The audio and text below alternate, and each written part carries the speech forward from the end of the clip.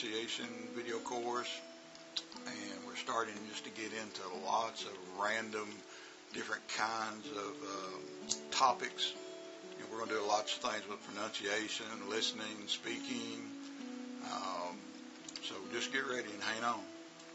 Uh, today, we're going to start, uh, and we'll do probably several of these. We're going to start an exercise in speaking that's called shadowing.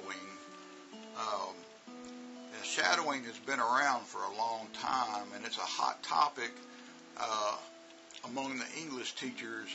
Uh, I had a lot of success with it when I was in China, uh, and I'm going to kind of tell you uh, how I did it in China uh, and how it can work for you.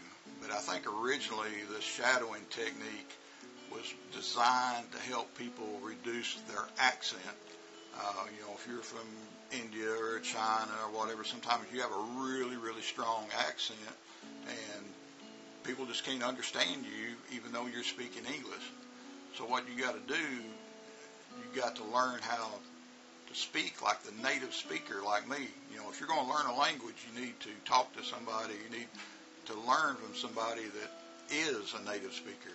You know, if I if I go to India and I want you to teach me your language, I, I want to I want you to teach me. I don't want some dude here in America that's never been to India to tell me how to do things. Uh, but anyhow, uh, but if you mimic, and that's the idea of shadowing, is you're going to follow me speaking just in a normal voice, um, and you're going to be repeating after me and trying to say the words just like I do. Um, and what that is, that's going to cut into your accent, and you're going to try to start sounding more like a native speaker. So that, and that's the idea. That's why you're learning English. Uh, you want to be understood. You know, you want to sound like the other people speaking English. Uh, so there's lots of advantages for you. Uh, now, one thing with shadowing, uh, there are many ways to do it, and you can read about it. There's lots of videos on shadowing. Uh, the first thing you need to do, you got to find the topic. And today we're going to be working with a, a poem by a very famous uh, poet uh, named Robert Frost, and that's a good place to start. Is with a simple poem. Uh, but you need to have uh, simple your topic needs to be simple, something that you know you can follow. And when you see, even this poem, as simple as this poem is going to be, the first thing you do, you look, look at what your material, and make sure that you understand every word in that material. If there's any new vocabulary, you need to stop and learn your new vocabulary first. That's the first thing and you, you need a good audio source. Uh, if you can record your voice as you do this, like with your telephone, uh, we used to have a computer, telephone, which I, I actually had a little recording uh, tool in China, uh, and we worked all this stuff together. And what you're going to see in this video here in a minute is I got this poem broke down into sections. I'm going to say it two times and for you to try to follow me. And that, but what you need to do, now you got to listen careful. You need to find the, the material that you're going to use. Like I said, today we're using this poem. You need to listen to me say this poem five, six, seven, eight times. Follow those words before you ever try to really speak them. Okay? You need to become totally familiar with the words and how I say them, and it will make you easier to follow me. Um, other than that, like I said, there's there's so many ways that you can do this technique. But the main thing, if you can record yourself, that is good. But you need the material. You need to become familiar with the material, and make sure you know every word. Never, never, never guess.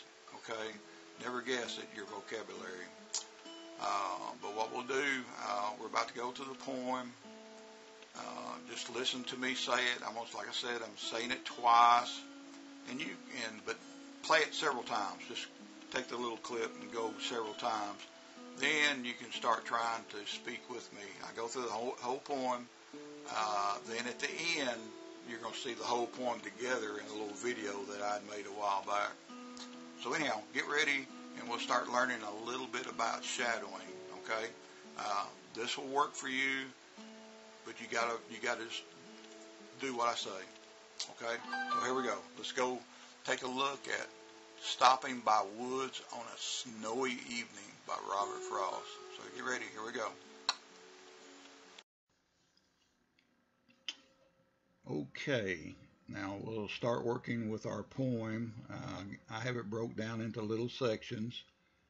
I will say it two times each each little section, and you just start trying to repeat after me.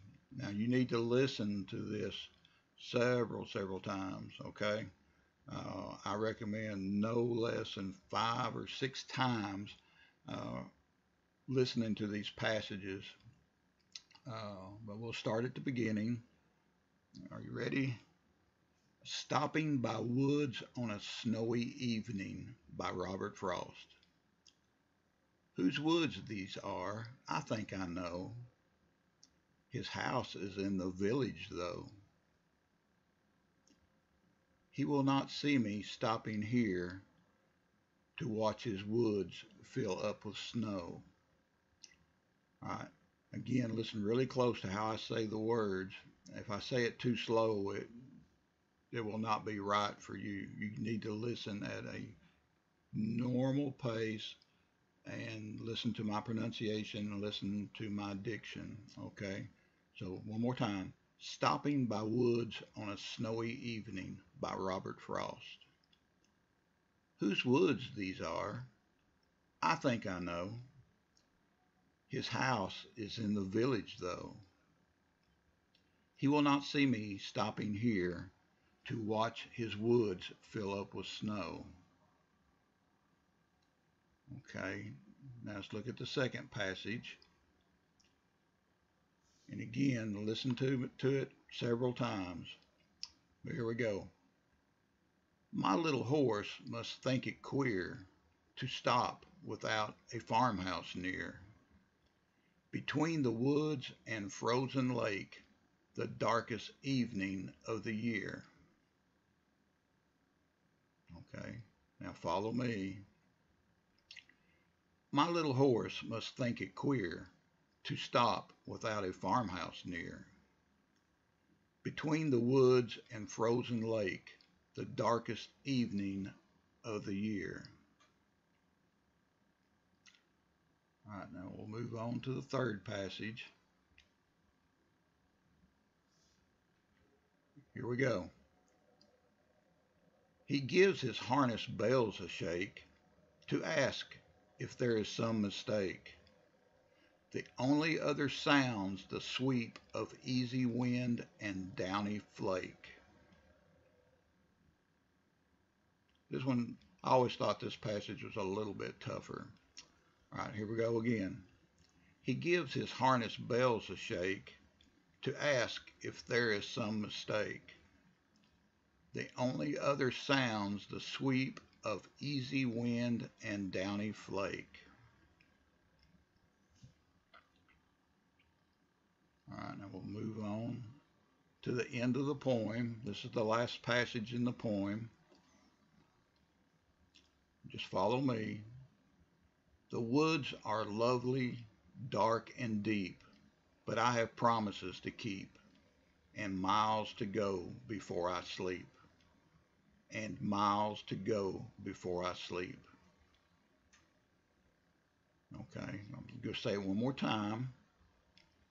The woods are lovely, dark, and deep, but I have promises to keep, and miles to go before I sleep and miles to go before I sleep.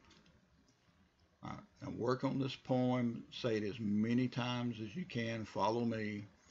Then at the end of the video, you'll get to see the whole poem uh, and you can work with that, okay? Uh, but this is part one of the shadowing thing and it, it takes a little work, but you'll notice if you listen to me carefully, uh, your pronunciation will start getting better and maybe your accent will start uh, slipping away a little bit because of the one of the points of shadowing is to neutralize your accent. Uh, these are exercises that lots of actors use to help uh, sound more American, you know, if, if they're from another country. So anyhow, have a great day and we'll see you with the next lesson. Take care. Bye-bye. Stopping by Woods on a Snowy Evening by Robert Frost. Whose woods these are, I think I know. His house is in the village, though. He will not see me stopping here to watch his woods fill up with snow. My little horse must think it queer to stop without a farmhouse near. Between the woods and frozen lake, the darkest evening of the year. He gives his harness bells a shake to ask if there is some mistake. The only other sounds the sweep of easy wind and downy flake.